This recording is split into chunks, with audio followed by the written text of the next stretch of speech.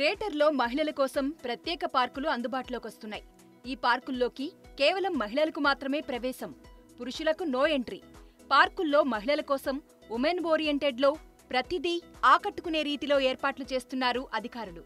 ఆరోగ్యమే పరమావధిగా GHMC urban biodiversity విభాగం యాభై ఐదు చోట్ల వైవిధ్యభరితంగా ఉండేలా థీమ్ పార్కులను ఏర్పాటు చేస్తోంది. ఇందులో భాగంగానే శేరిలింగంపల్లిలోని టీఎన్జీఓ కాలనీలో పద్దెనిమిది వేల ఐదు వందల చదరపు మీటర్ల విస్తీర్ణంలోనూ ఎల్బీ నగర్లోని సచివాలయ కాలనీలో నాలుగు వేల నూట ఇరవై చదరపు మీటర్ల విస్తీర్ణంలో రెండు ఉమెన్ పార్కులను అభివృద్ధి చేస్తోంది. ఈ పార్కుల్లోకి కేవలం మహిళలకు మాత్రమే ప్రవేశం ఉండనుంది.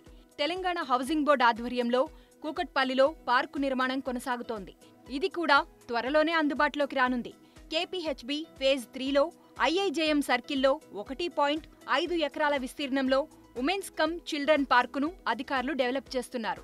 ఈ పార్కులో సెక్యూరిటీ రూమ్ చిన్నారులు ఆడుకునేందుకు ఆట స్థలం మహిళలకు ప్రత్యేకంగా యోగా చేసుకోవడానికి ఓ ఏరియాను ఏర్పాటు చేస్తున్నారు. ఈ పార్కును కూడా వచ్చే మే నెలాఖరికల్లా అందుబాటులోకి తీసుకొస్తామని అధికారులు తెలిపారు.